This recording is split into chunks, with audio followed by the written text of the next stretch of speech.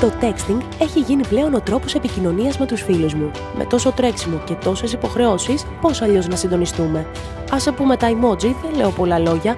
Μία φατσούλα αρκεί για να εκφράσω το mood της στιγμής και όχι μόνο. Τώρα πια αφήνουν το print τους με happy face, χείλη, red lipstick και σε πολλά αξεσουάρ της δουλάπας μου. Τελευταίο μου απόκτημα, τα χρυσά loafers και τα ασημένια sneakers που και στις πιο γκρίζες ημέρες τα κάνουν όλα να φαίνονται αλλιώς. Το ανδρόγυνο look είναι πάντα στη μόδα και ναι, είναι η μεγάλη μου αδυναμία.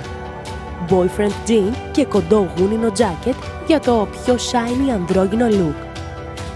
Όταν η ημέρα προμηνύεται δύσκολη και θέλω κάτι άνετο και stylish από το πρωί έως το βράδυ, θα προτιμήσω το αγαπημένο μου σκισμένο jean και το black oversized coat που μόλις απέκτησα.